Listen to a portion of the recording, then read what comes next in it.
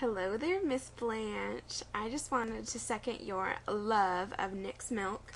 I've got mine right here. I bought mine on eBay, and it did take a little while to get it, but the lady was so sorry she was late. She sent me a NYX black pencil eyeliner with it, so that was kind of neat. Um, I just wanted to show everybody how creamy this is.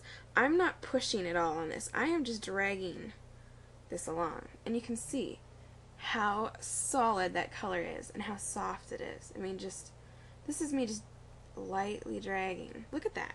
It's amazing. That's what I used as the base for my eyeshadow. I didn't put any other concealer or anything else on. I was in a hurry today.